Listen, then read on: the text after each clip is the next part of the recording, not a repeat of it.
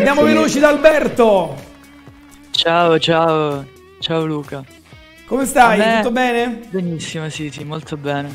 Questo allora questo talk come sta andando? Chi ci ferma? Non ci ferma nessuno? Nessuno. no, è stato davvero bellissimo, davvero molto bello. Mi è piaciuta tantissimo la parte riguardo la motivazione, riguardo i fallimenti, migliorarsi giorno dopo giorno. Ehm, soprattutto la parte del, del, del fallimento. Si dice che la, il fallimento sia la madre del successo. Io condivido pienamente perché io credo che fallimento dopo fallimento si riesca a capire davvero eh, ciò che fa parte di noi e ciò che non fa parte di noi. E questo ci aiuta ad avere maggiore consapevolezza del, di noi stessi, no? Anche la legge del clown di cui hai parlato. Ehm, è stato davvero un bellissimo momento. Eh, ti ringrazio. Senti, tu come ti senti in questo periodo? Questa pandemia, non so, dico te personalmente, ma anche ai ragazzi che, eh, che frequenti e che conosci, come vi sta condizionando?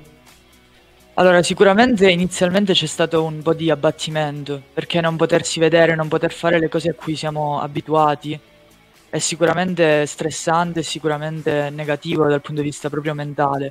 Poi invece ho cominciato a cambiare, a cambiare anche un po' il pensiero e cercare di trovare nuovi, eh, nuovi spunti, nuovi, nuove occasioni, nuove opportunità. Ho iniziato a studiare altre cose, eh, al di fuori anche della scuola a volte a trovare nuove passioni.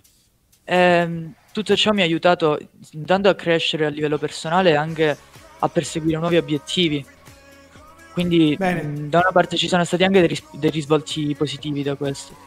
Ecco, trovare una risorsa nell'impedimento è sicuramente la chiave straordinaria, vincente, che può aiutarci a, a, trasformare veramente il momento difficile in grandi opportunità. Quindi Alberto, hai fatto benissimo, continua su questa strada e mi raccomando, chi lo ha capito, chi si sente per un attimo un po' più forte, eh, sorregga sempre chi intorno a noi è più debole e, e, magari affronta un momento di difficoltà. Poi un giorno magari vi, vi dirà grazie. Sarà sicuramente bello. Tra di voi l'amicizia è un qualcosa di importante e anche questo vuol dire essere amici.